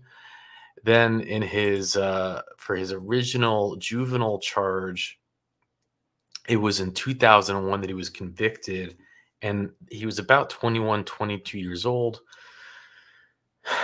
Um so his victim uh, i think under the statutes in louisiana would have been uh 13 years old to a 16 so yeah that's pretty that's pretty bad uh no matter any of those ages right? Um but and he served six years because it's Louisiana. That's all you get is six years, but still, it's quite a lot for uh, that type of charge. So you you don't know. It could have been much worse than you know. Could be that he pled down to it, to uh, just the juvenile, and that it was worse. But uh, who knows? Um, I thought it was a really, really, really bad interview. I mean, the guy just had excuses for everything. It was like it was pretty ridiculous. We've seen people get revoked for less. Um, I would have been fine with the revocation, frankly, but he uh, he is out and he stayed out. He's still out, so maybe he somehow did get his act together. Uh, for me, frankly, I'm shocked. I, I didn't think that he had. You know, that's this hearing took place in November 2021. This is almost three years later, and he seems to have not gotten locked back up. I mean, is it possible that Steve Hoyle actually helped someone? Um, I am a little surprised, but let's do one final hearing and we'll call it a night. Or classified as a second felony offender. Offenses attempted simple escape type 1, forcible rape. Sentencing dates February 20th, 2009, and January 23rd, 2002. Sentenced a total of 24 years. Parole date is May 19, 2021. Good time, not eligible. Full term, December 24th, 2024. Is this information correct, sir? Yes, ma'am. Thank you. Ms. Jackson? Good afternoon, Mr. Lewis. How are you? All right. Uh, I'll be leading the questions this afternoon. I've reviewed your file. I, I've uh, seen a lot of uh, information about you and about the case, but there are a couple things I do want to ask you. Uh, how old are you right now? Forty-seven. 47. And how much time have you actually served on this sentence? Next month be twenty-one years. Okay. And so you were, what, 26 or so when this incident, ha- uh, 26 or so when this incident happened? Yes, ma'am. Um, the, um, victim in this case was, uh, 11 years old at the time.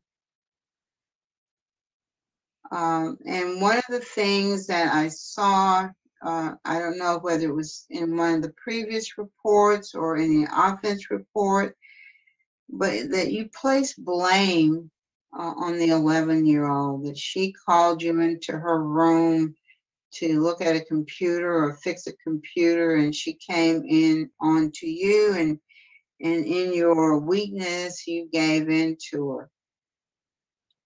Uh, do you still stand by that statement, Mr. Uh, Lewis? No, ma'am. Okay, tell, tell us what happened then. After the Christmas party, we went home and my girl had some family members come over and we all was highly intoxicated.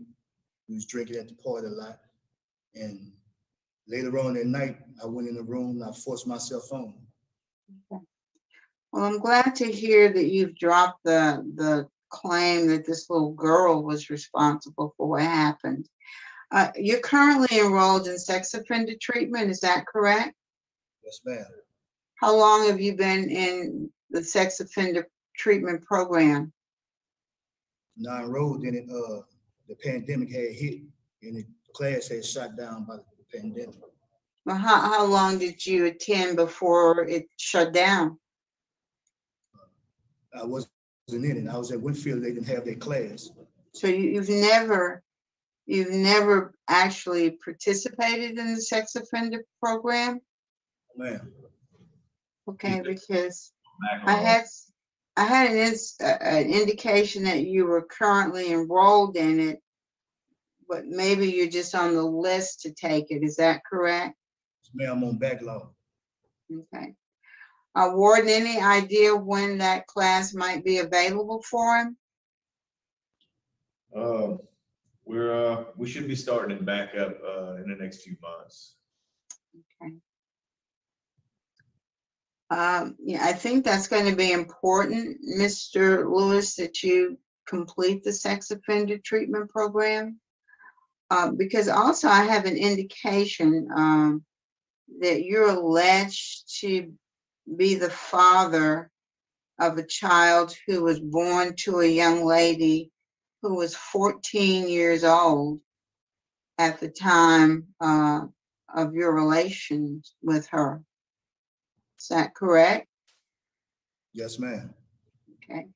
So do you see a problem, you know, with an 11 year old girl and a 14 year old young lady?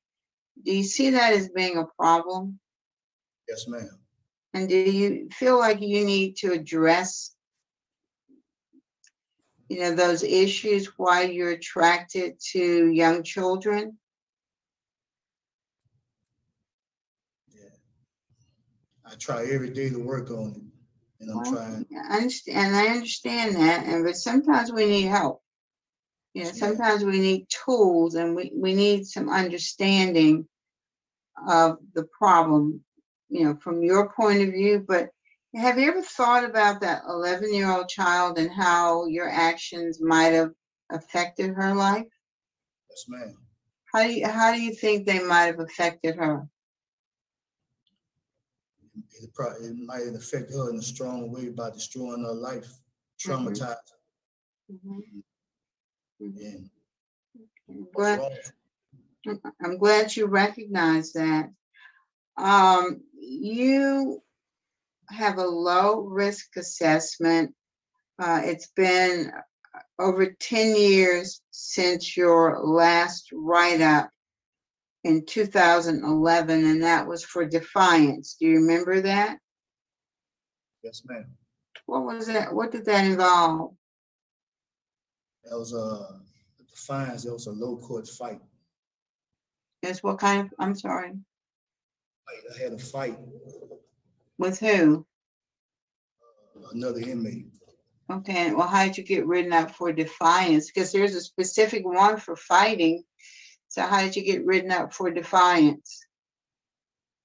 They dropped it and, and put me in. Oh, you talking about that right up? Okay, I had got into it with an officer, but it, it wasn't.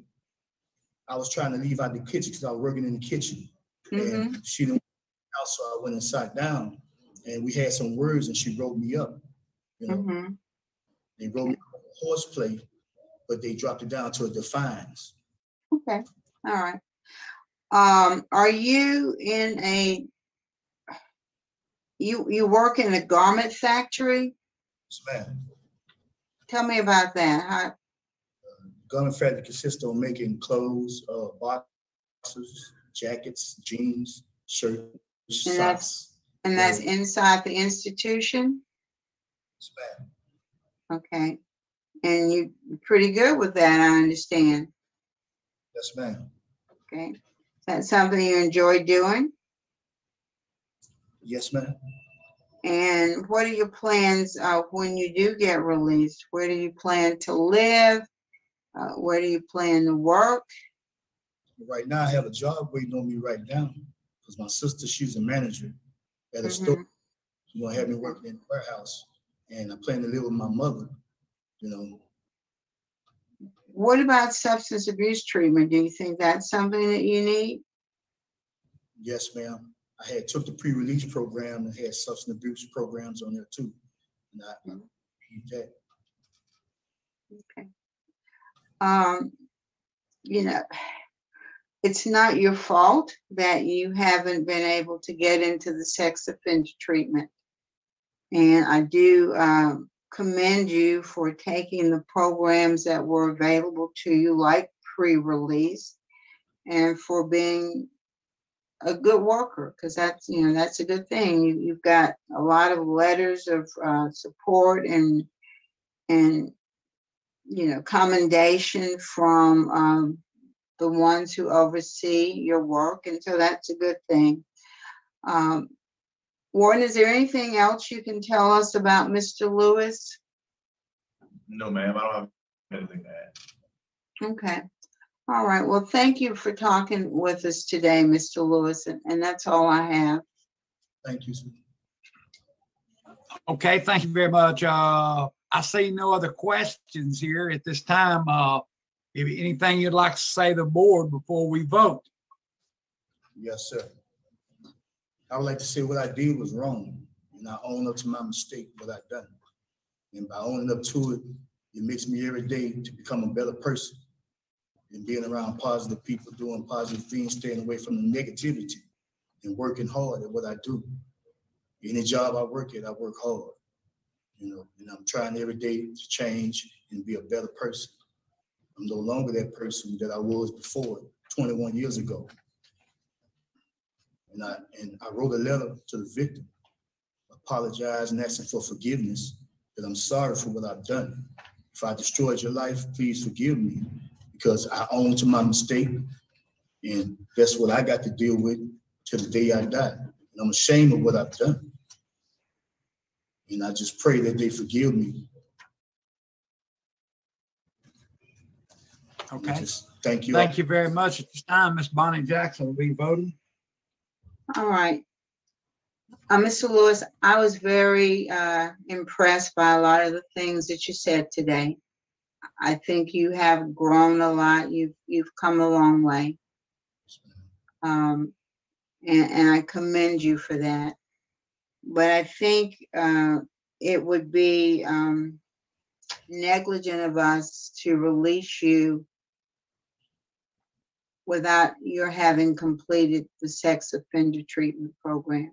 Uh, I think, you know, that's what you need, and I think, uh, you know, otherwise you would be a good candidate for release, because I really was impressed by the things you said today. I'm sorry that you weren't able to enroll, but I'm going to encourage you that as soon as it becomes available, that you take advantage of those, um, that, that program. And then right back, you know, after you've completed that program, right back. And, you know, hopefully the outcome will be different, but today, because you haven't had the sex offender, uh, treatment, my vote today is going to be to deny, but I want you to keep your head up, keep working hard, stay positive, and, uh, things will work out for you. Good luck to you.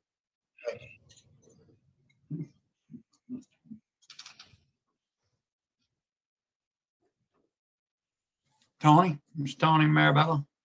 Uh, Mr. Lewis, uh, you, I, I agree with Judge Jackson. You've done very well, but you need the sex offender treatment program. You were denied in 2019, and one of the reasons was that you didn't do the sex offender program. Have you been trying to get into that program and just couldn't get in, or what? I'm on the list for backlog right now. Okay. Uh, Well, I, I don't know what we can do to help you get into that program, but I certainly would recommend that we, uh, uh, we, we try to facilitate your getting into the program because you've done very well up, other than that. And, but I do think it's critical that you take that program. So, uh, I'm going to encourage you to do it. And Warden, if we can somehow help through our board to uh, help get him in a program, we certainly would like to do that. So, uh, Yes, sir. Should be starting back. We're, we're slowly getting all our programs and stuff up and running, so it shouldn't be long before it gets back. Good. gets in. good. Well, good luck to you, uh, Mr. Lewis. Thank you. Okay, at this time, I'm gonna be voting Tyrone, and you know, I voted to make sure that you go get a, uh, sex offender treatment there. And that's what I want. And you gotta have all four phases before you have a chance to get out. You have strong victim opposition and you have some good things about it, but you've got to get this sex offender treatment. So the date of my vote is to it. Thank you very much.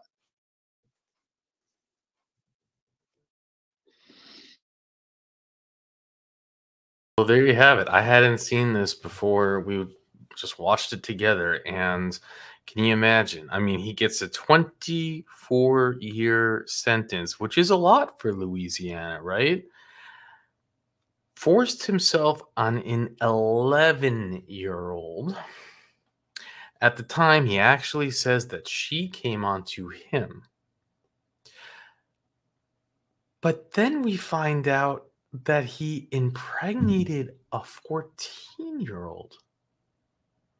So I, I just have to ask why does he have one felony? Why does he have one sentence? Why? would you not charge him for the second offense of impregnating a 14 year old? It makes no sense. This guy is dangerous. You can't just forget the fact that he that he at 20 however old he was forced himself on a 24 year old. I'm sorry, on an 11 year old. I mean, he's been doing this to little kids his entire life, probably. That would be my guess. And what do you th- think he's going to do when he gets out? Why wouldn't you sentence him on? I mean, you have the DNA. You don't need to have a trial. You don't need to do anything. You just have to go and charge him. But they don't. And the only thing I can think of why you don't is because you don't care. There's no information on this case that we have. There- There's nothing, but I just wanted to again go over the statutes. And now this statute is as, as of 2006. So I don't know what it was when he got sentenced, but here it says that those who commit forcible sexual assault should not receive less than five years. Can you imagine that five years is the minimum? No more than 40. At least two years without benefit of. So you can, you know, th- that's how strict they are, right? The judge could say five year sentence, parole eligibility after two years. The judge can do that according to the legislation. Why? I have no idea. It's madness. But they didn't. I mean, they gave him probably a plea deal, gave him 24 years. But why would you not? I don't get it. You know? It just doesn't make any sense. Someone who does that has to be locked up for life. Let's see. He's he's he's about to turn 50 years old. And he served almost 24 years of the sentence. So he was like 24, I guess, about 20 something in his 20s when he uh, did this to an 11 year old and when he impregnated a 14 year old.